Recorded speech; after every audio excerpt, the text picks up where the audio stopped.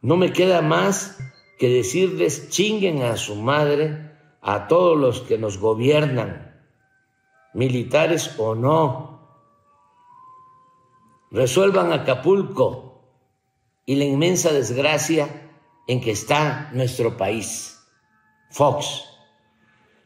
No solo es él, así está Calderón, así están los dueños, los dueños de los principales medios de información que han enviado a sus reporteros estrellas para eh, hacer reportajes hablando de que no hay atención eh, para la gente, de que está todo fuera de control, que no se está haciendo nada, que incluso se está deteniendo a los que quieren ayudar con despensas puras mentiras. El presidente Andrés Manuel López Obrador acusó a la oposición de querer utilizar la desgracia del huracán Otis con propósitos electorales y afirmó que quisieran que hubiese muchísimos muertos para culpar a su gobierno y sacar raja política. Hay mucha desinformación, mucha politiquería.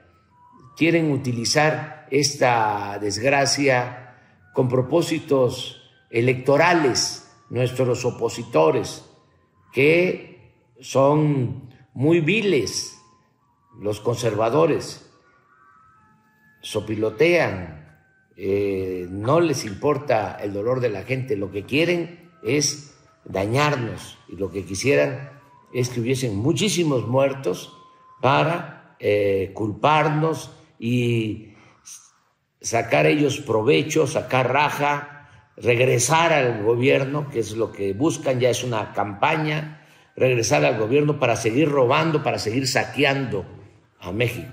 En un video difundido en sus redes sociales, donde informó las acciones para apoyar a la población afectada por el huracán, el mandatario federal aseguró que a sus opositores no les importa el dolor de la gente, sino lo que quieren es dañar a su gobierno para culparlo y sacar provecho.